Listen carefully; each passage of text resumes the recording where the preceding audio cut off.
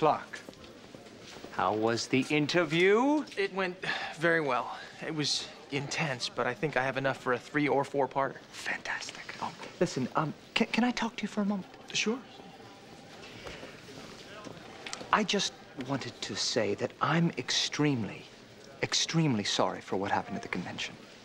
At the convention. Uh, please, let me finish. I'm sure Lois has told you all about it. A- and I don't want to beat a dead horse, but you should know, Clark, that she definitely put me in my place. And nothing like this will ever happen again. Nothing like. I have to go to a board meeting. We'll talk about this later. Talk about what? So, where were we? Uh.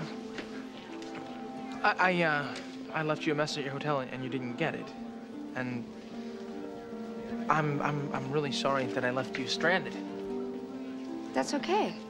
I wasn't exactly all alone. You weren't? No, there must have been 300 other reporters there. and Leslie came.